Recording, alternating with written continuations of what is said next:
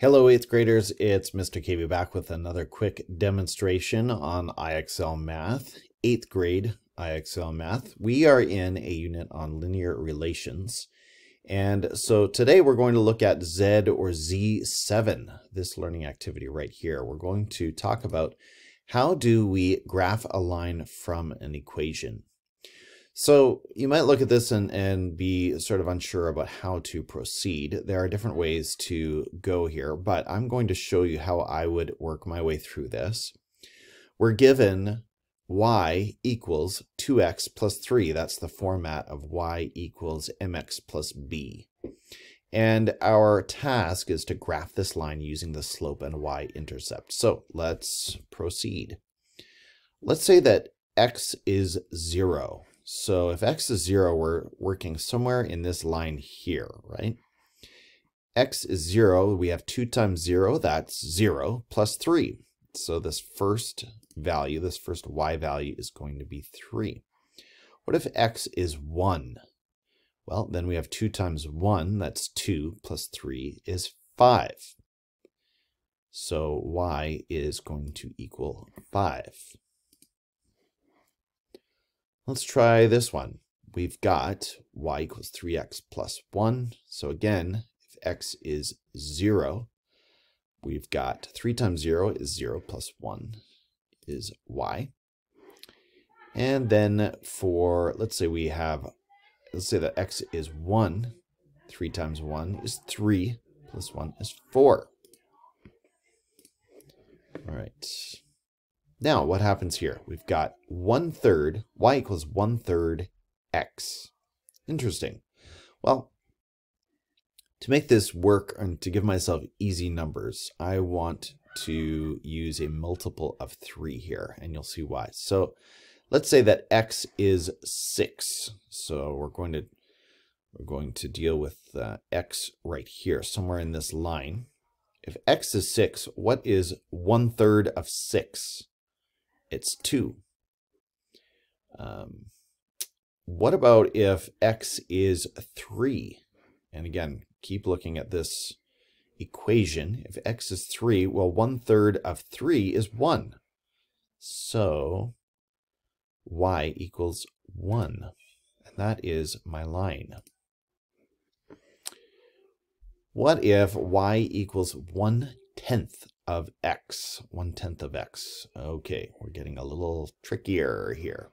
Well, we know that, we'll start with an easy one here. 10, if x is 10, what is one tenth of 10?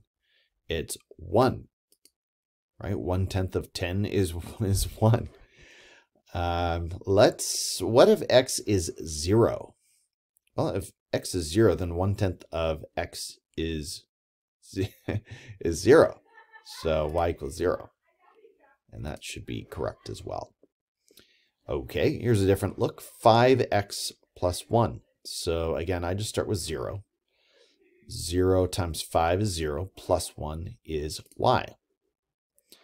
What if I plug a 1 in here? 5 times 1 is 5, plus 1 is 6. So x is 1, y is 6. Let's do a few more and, and hopefully see a few different kinds of looks here in case you're getting stuck on a particular equation style. So 6 times 0, again, I'm going to make x 0 start right here. 6 times 0 is 0 plus 4 is 4. 6 times 1 is 6. Uh, yeah, 6 times 1 is 6, plus 4 is 10. That's a very steep line.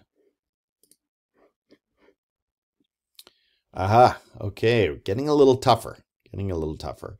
1 eighth of x plus 2. Interesting, 1 eighth of x plus 2. So what if x is 8? Well, 1 eighth of x, 1 eighth of 8, pardon me, is 1, plus 2 is 3. So I wish I could actually, can I write on the screen here? I don't think so. Okay, so I'll just say it out loud one more time. So if x is 8, 1 eighth of 8 is 1, plus 2 is 3. And that's why I'm putting my dot right there at uh, the 8 position on the x-axis, the 3 position on the y-axis. What if x is 0? So we go right here. And 1 eighth of 0 is 0 plus 2 is 2. There we have it. Ooh, okay. A negative. No problem. No probs. Sorry about that. Negative 4x. So we've got 0. x is 0. Negative 4 times 0 is 0. Plus 9. going way up here. I put my, this dot is going to have to come out. There we go. All right, so let's try negative 4 times 1. Um, pardon me. Let's try x as the 1 value. So somewhere in this line. Negative 4 times 1 is negative 4. Plus 9 is 5. Negative 4 plus 9. If you think that the weather is minus 4 degrees, but add 9 degrees, we're going to get to 5 degrees. And that's our line. So again, this dot we get when we use x as 0 right here. This point, I should say point, not dot. This point we get when we use x as 1. All right. Hopefully that makes sense. Again, I wish I could write these all. I wish I had a writing board right beside me. I'm probably overlooking, uh, I think actually when you use IXL on iPads, you might have more options like that. Okay, so graph this line using the slope and y-intercept. So 1 fourth of x is, oh, pardon me, let's use 0 as x. So 1 fourth times 1 quarter times 0 is 0 plus 4. Here we go. And then let's use 1, no, let's use 4 as x. So 1 fourth of 4 is 1 plus 4 is 5. Again, I'm using 4 here because I know that 1 fourth times 4 is 1. It just makes for easy math. Uh, if I put 3 here, that would get really tricky. So I want to use a multiple of 4. Factor of uh, multiple, yes. Okay, and there we go. Got our line. Oh, seriously? You're going to give us this? Okay, well, sure.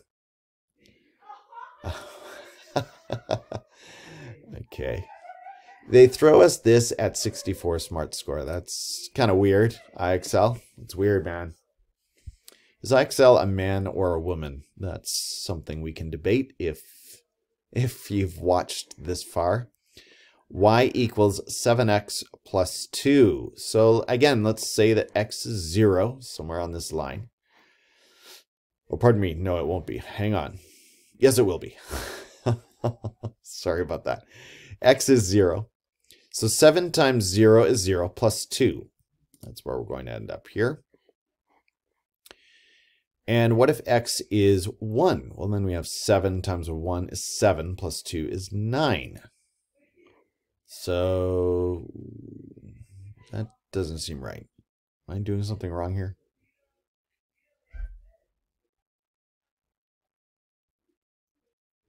Yes, I am. That was dumb. Okay, back up the tape. So x is 1. So we're going to be obviously in this line here. I was falling asleep. I think I was thinking about other things there.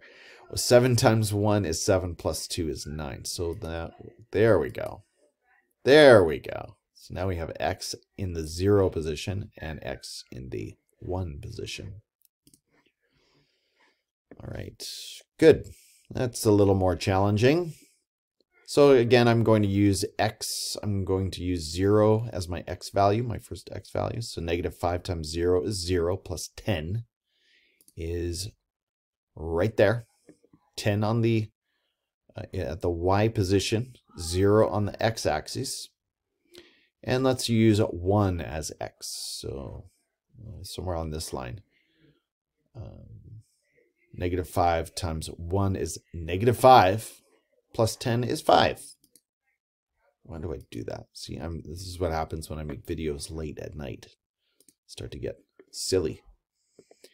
And I'm over the 10 minute mark, so I feel like I should stop there. But that is a demonstration of Z or Z7, graph a line from an equation in IXL 8th grade math. Thanks for watching.